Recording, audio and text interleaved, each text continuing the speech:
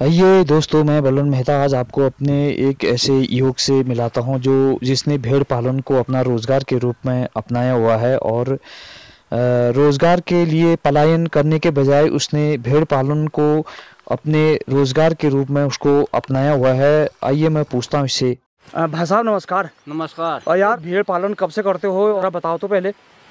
ये भेड़ पालन ये बुज़ुर्गों के ज़माने से चल रहा है ये। अच्छा। जब बुज़ुर्ग के ज़माने से चल रहा है तो अब हम भी ऐसे ही ठहरा बेरोजगारी हुई है थी जी। आ, हमने सोचा यार अब नौकरी चाकरी कुछ मिल नहीं रही है। बिल्कुल सही बात है। आ, हाँ।, हाँ जी। नौकरी चाकरी कुछ मिल नहीं रही है। हमने सोचा भाई मतलब जरा इसको भी हम करते हैं फिर अच्छा। इतना भी कर सकते हैं। जी। और चौमास के दिनों में आप तब कहाँ ले जाते हो इन बकरियों को? अब जरा अब आ गई गर्मी। अच्छा। अब मतलब जाते रहेंगे ठंडे ठंडे में ऊपर ऊपर ही। जी। आएँगे नामी ग्लेश्वर जी। फिर जाएँगे ये यहाँ मतलब मुंशारी के ऊपर टॉप में जी। खलिया में। जी। फिर जाते रहेंगे ये खलिया से फिर गए ये मिलम वहाँ यहाँ लेलम से होते हुए जोहार। अच्छा जोहार लेलम होते जोहार गए। हाँ। अच्छा।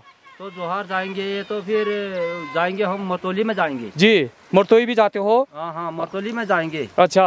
तो मरतोली में जा करके फिर वहाँ ऊपर मतलब टोपी ढूँगा। अच्छा टोप ढूँगा? हाँ तो लास्ट टोपी ढूँगा तक तो जाते हैं। अच्छा अच्छा। हाँ तो फिर वापस घूम गए हम। जी।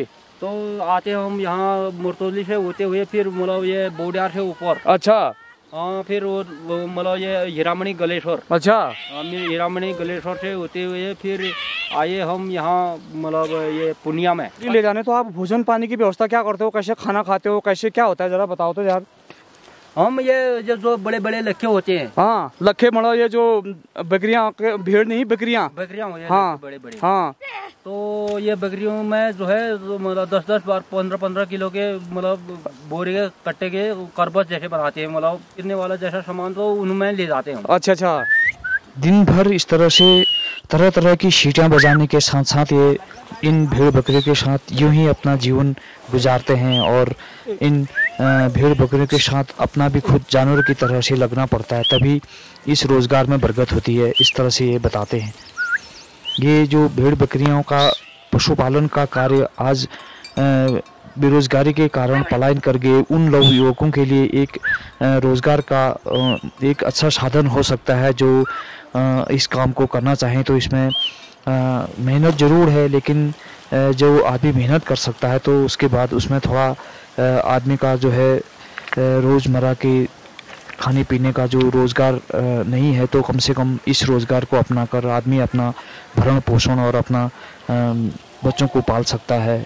हमारे पहाड़ों में इस तरह का रोज़गार पहले इससे पूर्व भी कई हमारे पितरों ने किया ये काम और उन्होंने पशुपालन को अपनाए हुए रखे क्योंकि रोज़गार के लिए पहले लोग बहुत कम पलायन करते थे और उनको पता नहीं था कि शहरों में की आब हवा पसंद न होने के कारण वहाँ की धूल मिट्टी वहाँ की गर्मी और प्रदूषित आब हवा में जाने के बजाय लोगों ने अपने ही क्षेत्रों में इस तरह के, के रोज़गार को अपनाया और भेड़ पालन बकरी पालन और पशुपालन के साथ साथ लोगों ने अपने इस खूबसूरत सुंदर वादियों में जहाँ ये तरह तरह की जड़ी बूटियाँ और वनस्पति जगत जहाँ भरपूर प्रचुर मात्रा में मिलता है, लोगों ने इस तरह के रोज़गार को अपनाए हुए था। और ये वही लक्ष्य हैं जिनमें ये अभी भोजन ले जाने की बात कर रहे थे। ये बकरियाँ हैं जिनमें पंद्रह पंद्रह बीस बीस किलो के अनाज को ये लोग ले जाते थे। और इस तरह से बुग्यालों में ये जो है इन बकरियों के साथ अपना जीवन यापन के साथ साथ अपना एक रोज़गार के रूप में इस खूबसूरत वादिया में जहाँ साफ़ सुथरा वातावरण और शुद्ध आबो हवा इस तरह से ये लोग अपना रोज़गार में लगे हुए हैं। बहुत सुंदर लगता है, आनंदमय ज़रूर लगता है, लेकिन उसके साथ साथ उतनी मेहनत भी करनी पड़ती है। ऐसा नहीं है कि लोग इस कार्य को न करें, क्योंकि आजकल के इस दौड़ती भागती दुनिया में जहाँ रोज़गार की कमियाँ हो तो इस तरह से इस काम को अपनाया जा सकता है। और ये जो खूबसूरत लखे हैं, ये अभी मैं आपको ये दिखा रहा हूँ, ये ये लखे होते हैं, इन्हीं में ये लोग अपना भोजन पाने को ले जाते हैं।